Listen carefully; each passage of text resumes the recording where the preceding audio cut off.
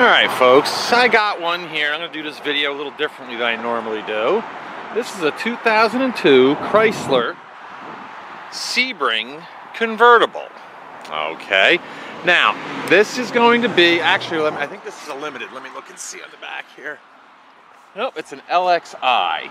One of the ones I have is a limited, I know that. Somehow, I don't know why, come wintertime I have three convertibles right now, but that's just the way it goes. And I just wanted to show you with the top down first, and then when we go for the test drive, I'll put the top up and you can see what kind of shape that's in. Okay, now, first thing I want to do is I'm going to start it up, and I'm going to show you this. Oh, where are the keys? If I can find the keys. Hope I didn't lose them. That sounds like me. All right, first things first is, all right, there we go. Now, let me see if I can show you mine. There it is. It's only got, for, you know, 12-year-old car, 13-year-old car, it's got 138,228 miles. So that's not that bad. You'll notice there are no check engine or warning lights on, but, and there's always a but, I gotta let you guys know something. There's two things I know that are wrong with this car. And I'm gonna let you know what they are. The first one is that it's got a leaky valve cover gasket, which means you can see I left it like this, I could cleaned it up, but I wanted to show you that there is some oil that leaks out of there, hence it gets on the engine and obviously uh, smokes a bit. And the other thing is this vehicle will require a water pump. Okay, I only know that because my mechanic told me so. Uh, the car can be driven, but I do not recommend it for too long of a period of time. Uh, I think because it may overheat if you do. I've never overheated the car, but I just wanted you to know that so you know you can take the appropriate caution. It's a beautiful car, runs and drives great. It just is going to need a little bit of work. Hence, I'm going to call this a mechanic special. Let me rev it up for you so you can hear how the engine sounds.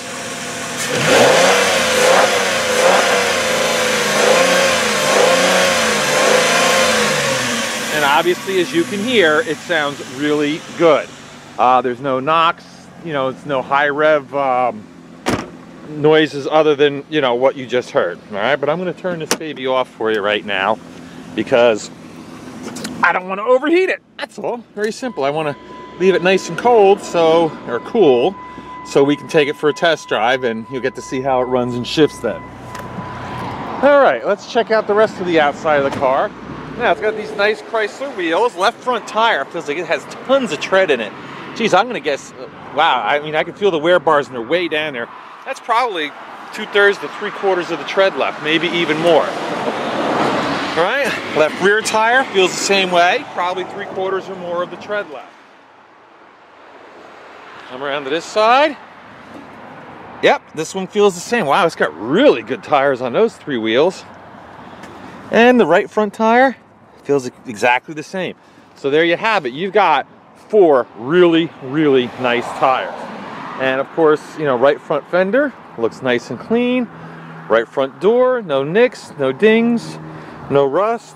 Right rear quarter panel, same thing. No nicks, no dings, no rust. Very nice.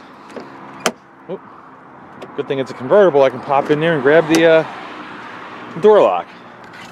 And you can see the interior appears to be in very nice condition. The seat has a little bit of stress wear on it, the driver's seat of course, not bad. You know, but the rest of it's not broken up, busted up at all. This would be a really great Christmas present for somebody. If you, uh, and you can see there's a little bit of wear and tear on the passenger seat. The carpet looks nice and clean. But if you know how to work on cars and you can do the work on this, yeah, this would be a really nice car. bring it down. You can see down the bottom there, doesn't look like there's any corrosion underneath this car at all. Really looks to be in great shape. All right, here's your rear seat. And you can see that looks to be in pretty darn nice condition as well. I already showed you the quarter panel. Oh, looks like we got a little crack in the tail light lens here, no big deal. And your rear bumper's a little scuffed up, not bad. Let's take a look see underneath.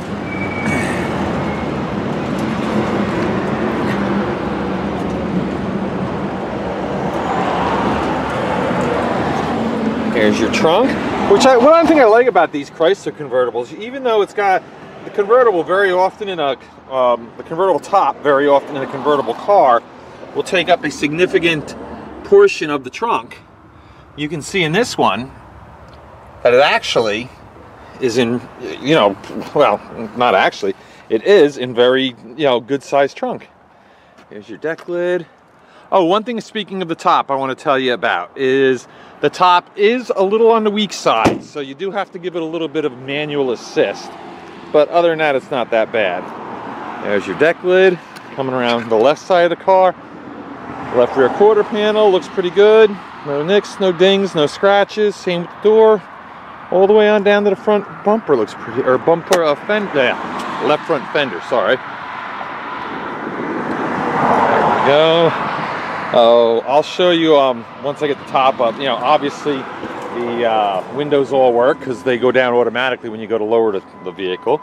It does have a power seat that forwards and backs. you can see that works nicely. Let me move this piece of paper out of the way. You can see the carpeting there. That's nice. Here's your door jamb.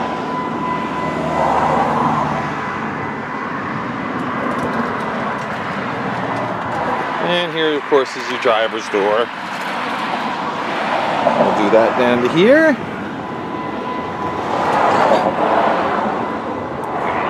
And there you have it. And of course, we'll come around to the front. And looks like the headlights are in pretty decent shape. They look pretty clean, pretty nice. The front of the car, not all beat up. It's actually just a really nice looking car. We'll take a look underneath.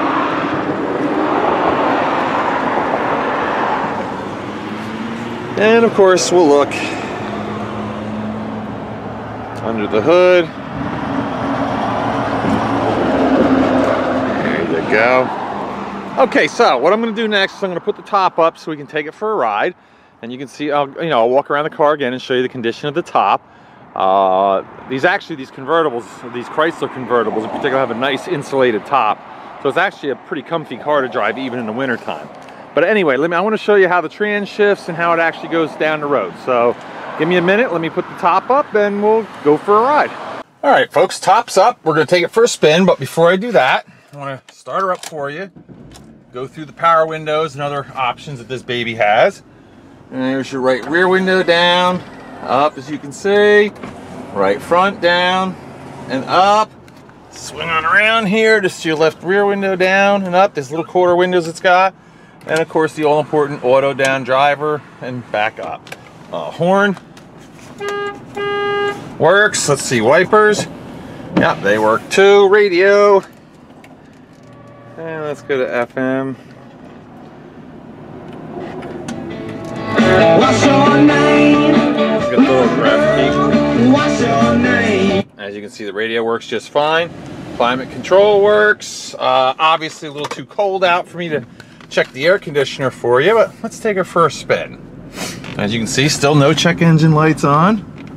This is uh, a 2.7 liter V6. It's front wheel drive, has a four speed automatic transmission. So it's gonna get decent gas mileage. Not great, not like a little four cylinder puddle jumper, but you're not gonna get decent power out of it either.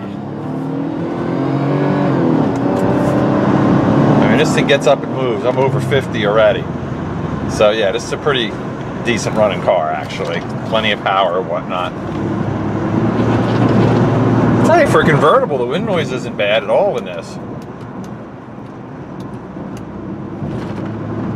Cruise down the road, hands off the wheels, you can see. And we're going nice and straight. Still haven't touched the wheel, still haven't touched the wheel.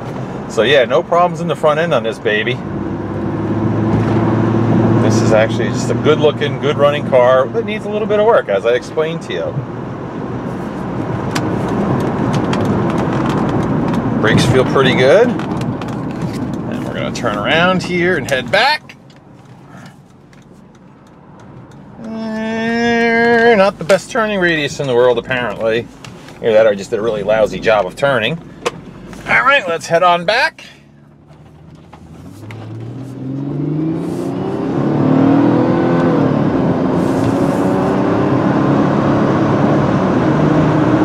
Transmission seems to shift nice and smooth through all the gears. Very nice. It's got your little compass and temperature gauge there. Sure feels colder than 50 degrees out, but whatever. We're supposed to get a foot of snow tomorrow, so that's I'm trying to get this done. All right, I'm gonna do a brake test for you guys, which very simply is just gonna consist of me pulling into the vacant lot across the street from my place, let go of the steering wheel, slam on the brakes, and we'll see what happens. You can't really tell much on the video, um, so I will do my best to describe to you how they feel. One thing you can do is keep your eyes on the steering wheel though, and just see if it like swings really wildly to the right or to the left. That might tell you it's got a brake balance problem. But I'll pull the camera back, hopefully you can see, find my little spot here, and nice. Okay, so the brakes feel very good. The steering wheel didn't budge a bit. Um, it stopped straight, stopped nice, even on gravel. So nothing wrong with the brakes here. And here we go. Now, what I'm gonna do now is take one more walk around the outside of the car so you guys can check out the top. Now that I have the top back up for you. All right, we'll park this baby right here and we'll take a walk around, okay? There we go. Turn the car off, don't wanna let it run too long. I mean, honestly, I don't know how long you can drive this car for or if it will even overheat. I just get really paranoid when I know something like this and I don't want to hurt anything. So again, I'll let your conscience be your guide as to whether, uh, you, you, know, what you want to do with this car as far as if you want to tow it or if you want to uh, drive it. That'll be up to you.